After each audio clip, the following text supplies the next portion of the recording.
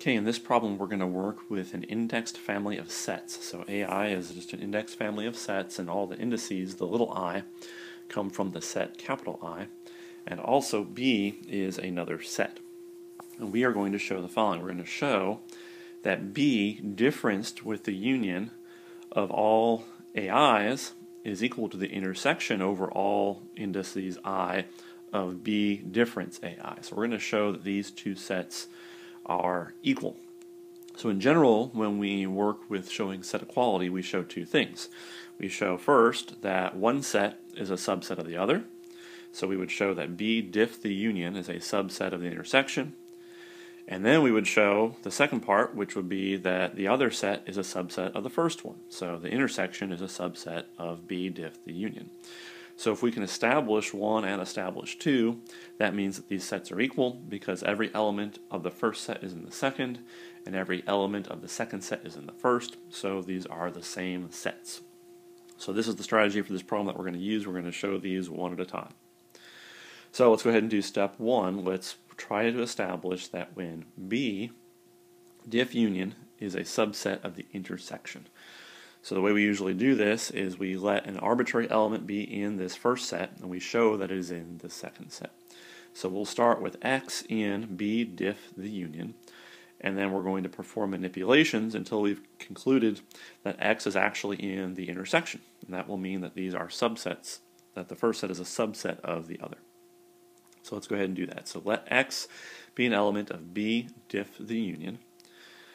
So what is this equivalent to? Let's start manipulating. So this means that x is in B and x is not in the second set. That is the definition of a difference. So this is equivalent to the statement x is in B and x is not in this second set, where the second set is the union of all the sets AI over the indices I and capital I. Okay, so we've just replaced our original statement with a logically equivalent statement.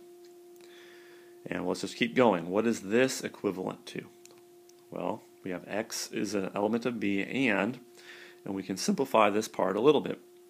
If x is not in the set, we can also write this as not x in the set. So all we've done is introduce a not, and instead of saying that x is not in the set, we've said that it is an element of the set, but then we knotted it.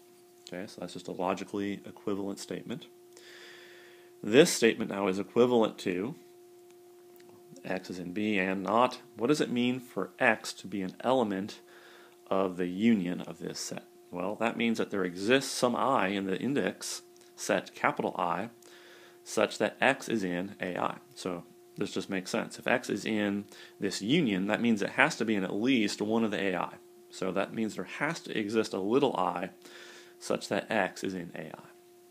So all we've done is replaced x being in the union with the fact that there has to be at least one element in the union that x is in, and we're calling this little i. Well, this is logically equivalent to x is in b, and so what have we done here? All we've done is used our quantifier negation law. We have not there exists, well that turns into for all i, and then we negate the expression. So the expression before was x in AI, now it's x not in AI. So this is just our quantifier negation law that we replaced. The not there exists with a for all and then not of the logical expression.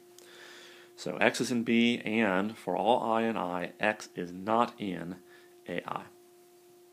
Okay. What are we doing here?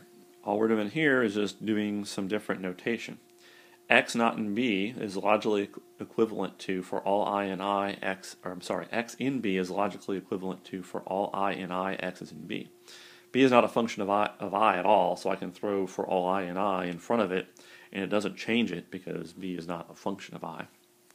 So that hasn't changed anything, and then the rest of our logical expression remains unchanged. This is equivalent to now I can kind of basically factor out the for all i of i notation. For all i of in i x is in B and x is not in AI. So this is just a notation thing, just switching around a little bit. And we're almost there. So this is equivalent to, let's look at the inside part. x is in B and x is not in AI. Well, that is just the definition of a difference. If x is in B and x is not in AI, that means x is in B diff AI. So we now have uh, reduced our original expression x in b diff union of ai to the logically equivalent for all i in i, x is in b and not in ai, the diff there. This is equivalent to x is in the intersection. If x is in every element b diff ai, that means it's in the intersection of all these things. So this is logically equivalent to x is in the intersection over all i in capital I of b diff ai. And this is what we wanted to show. We started with an arbitrary element of the first set, b diff the union, and we ended up showing that x is an element of the second set, the intersection of b diff ai. So we have accomplished step one. So how would I go about doing step two? Well, for step two, what do I do? I'm going to go the other way.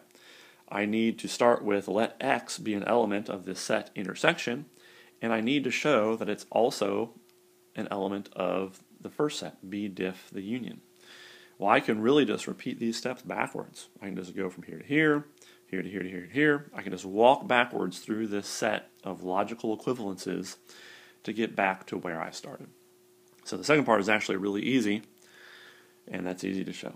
So we've shown that the first set is a subset of the second, and the second set is a subset of the first, so these sets are equal.